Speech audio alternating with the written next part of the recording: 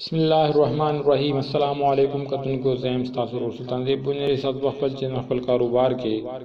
په نننی ویډیو کې د یو وړي شان ایډیا خبره کو کمونه وایګانو سره په لاس کې پیسې کمی دي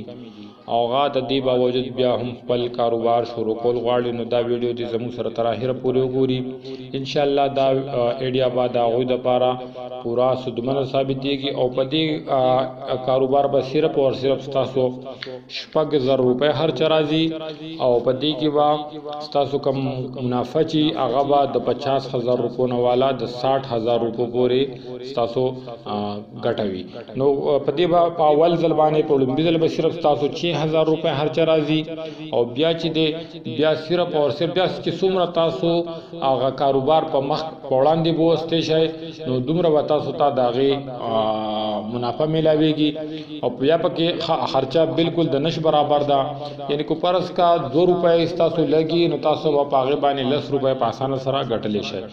نو کوم رونه لا تر اوسه پورې زموږ دا چینل سبسکرایب کړی نه مهرباني وکړئ دا چینل سبسکرایب کړئ او فیسبوک کې د خپل کاروبار په نوم باندې هم زموږ پیج موجود دی هغه هم لایک کړئ نو راځي چې خپل ټاپک طرف ته په تفصیل سره د دې کاروبار مبارک کې تاسو ته خبره کوو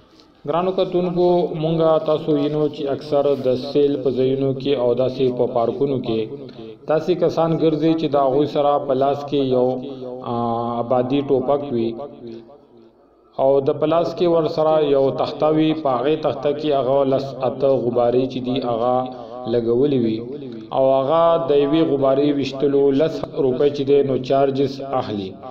نو کو پرس کا تاسو کې لک شان ټیلنټ یې لک شان تاسو چالاکی کولای شئ نو دا کاروبار تاسو په اسانه سره شروع کولای شئ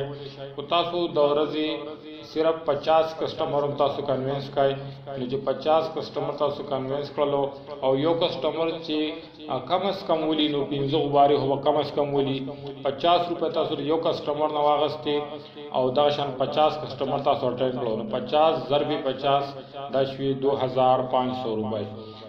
په دوه هزار پنځ سوه روپو کې چې دی په دې کې ستاسو صرف او صرف خرچه چې دا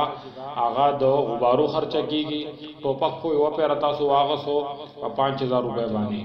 بیا چې دی بیا پکې نور اخراجات صرف او صرف ستاسو د غبارو دي او غباره تاسو ته په هول سیل ریټ باندې چې کله تاسو دا په مارکیټ کې اخلئ دا د یوې یوې نیمې روپۍ باندې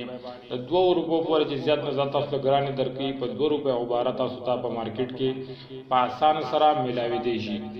نو کم رونه بایګان کاروبار شروع کول غواړي او په ذهن کې څه ایډیا نشته دی په لګو پیسو کاروبار شروع کول غواړي ډیره پیسې سره شته نه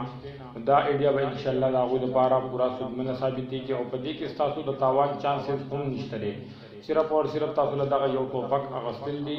بیا کله هم تاسو دا کاروبار ختمول غواړی دغه ټوپک بیا هم تاسو په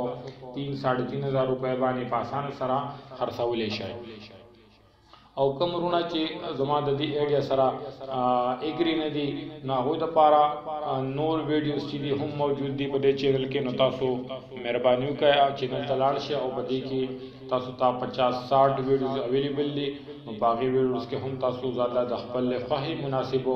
کاروبار کولی شئ بعضې وروڼه داسې چې د هغوی په روډ باندې یا داسې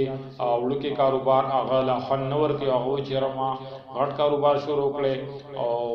پیسې را سره شته دی نو د هغوی دپاره نور ویډیوز موجود دي تاسو هغه ویډیوز کتلی شئ او د هغې نه د خپلې خوښې کاروبار چې دی هغه تاسو شروع کولای شئ نو امید لرم دا ویډیو به تاسو خوښ شي وي او کو تاسو خوښ شي وي نو د لایک بټن ضرور دباو کړئ او د خپل مرګرو سره د واتس اپ فیسبوک په ذریعہ سره شیر هم کړئ تاسو د کتونکو یو جهان مننه